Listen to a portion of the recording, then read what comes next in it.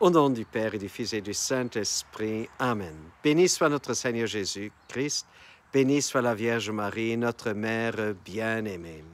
Nous lisons au sixième chapitre du livre de la sagesse au verset 10 ceci. Car ceux qui observent saintement les lois saintes seront reconnus saints, et ceux qui s'en instruisent y retrouveront leur défense. Chers frères et sœurs, lorsque nous nous mettons sous la parole de Dieu, lorsque nous mettons en pratique la parole de Dieu, donc nous adhérons profondément à Dieu, nous pensons, nous agissons comme Dieu et nous pouvons être sûrs que lui, il est de notre côté et qu'il va nous protéger. Et nous sommes dans les meilleures mains du monde. Et voilà pourquoi le verset suivant nous encourage à aller toujours plus loin.